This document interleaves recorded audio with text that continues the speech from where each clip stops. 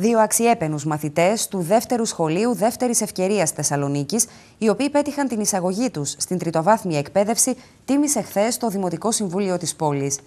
Ο Γιώργος Γκουτζαμάνης, με προβλήματα όρασης, πέρασε στη Σχολή Μουσικής Επιστήμης και Τεχνών του Πανεπιστημίου Μακεδονίας. Και η Ευτέρ Πυράπτη, η οποία είναι κοφή, εισήχθη στη Θεολογική Σχολή του Αριστοτελείου Πανεπιστημίου. Συγκινημένοι οι δύο φοιτητές ευχαρίστησαν για την τιμή τα μέλη του Δημοτικού Συμβουλίου.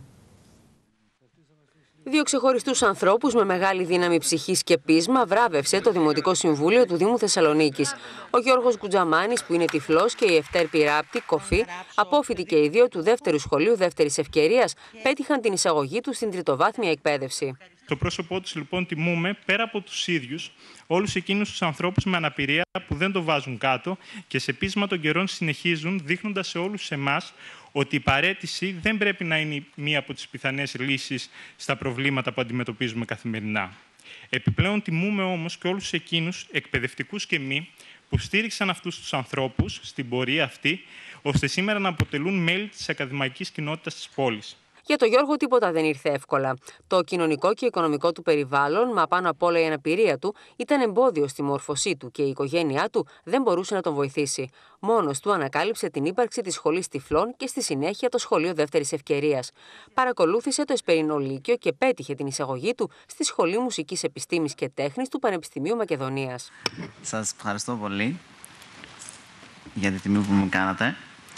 Ε, Καταρχήν θέλω να ευχαριστήσω τους καθηγητές μου ε, από, τη δεύτερη, από, ε, το, από το σχολείο τη δεύτερη ευκαιρίας ε,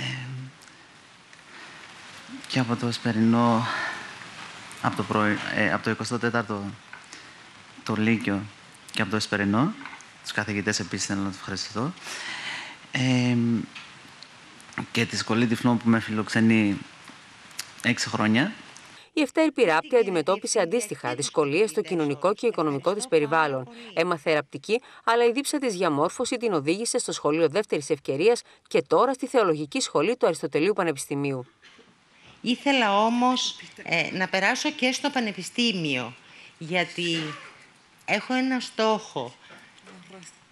Έχω γνωρίσει πάρα πολλά κοφά παιδιά τα οποία όμως δεν γνωρίζουν την αγάπη του Θεού. Και εγώ θέλω να τους υποστηρίξω, θέλω να τους βοηθήσω, θέλω να, θέλω να μάθουν για την αγάπη του Θεού. Είναι πάρα πολύ σημαντικό αυτό για μένα. Συγκινημένη, η διευθύντρια του σχολείου Δεύτερης Ευκαιρίας συνεχάρει διπλά τους πρώην μαθητές της και τους είπε ότι δεν χρειάζεται να βλέπεις και να ακούς για να κοιτάζεις ψηλά. Οι εκπαιδευόμενοι μας, που πολλοί από αυτούς που φοιτούν φέτος και είναι και μάλιστα συνεργάτες σας στο Δήμο Θεσσαλονίκης, βρίσκονται εδώ ανάμεσά μας.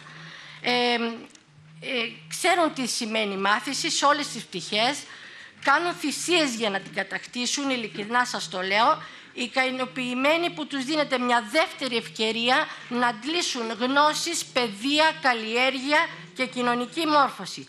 Και ό,τι μπορεί να σημαίνει για αυτούς το σχολείο δεύτερης ευκαιρίας. Οι βραβευτέντες καταχειροκροτήθηκαν από τους Δημοτικούς Συμβούλους, ενώ το Συμβούλιο θα συνεχίσει τις βραβεύσεις σε συνδημότες μας που διακρίνονται.